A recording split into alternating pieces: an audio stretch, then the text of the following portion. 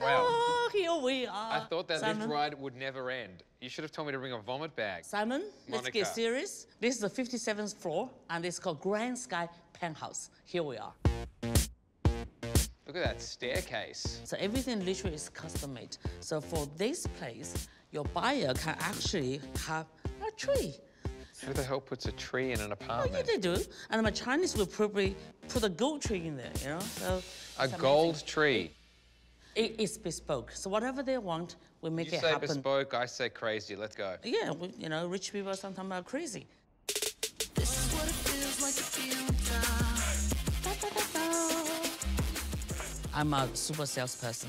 In my career, I think I probably sold precisely about $2.15 billion. Very humble.